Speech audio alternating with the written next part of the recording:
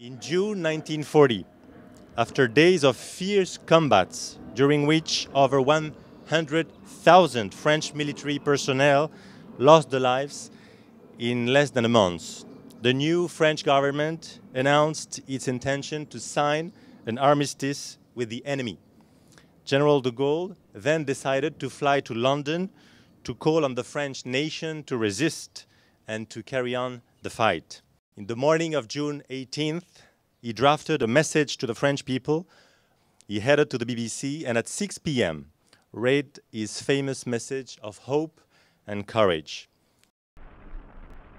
Moi, général de Gaulle, j'entreprends ici, en Angleterre, cette tâche nationale.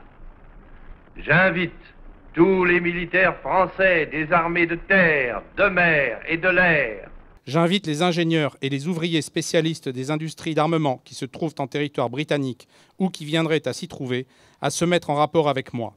Quoi qu'il arrive, la flamme de la résistance française ne doit pas s'éteindre et ne s'éteindra pas. Vive la France, libre, dans l'honneur et dans l'indépendance.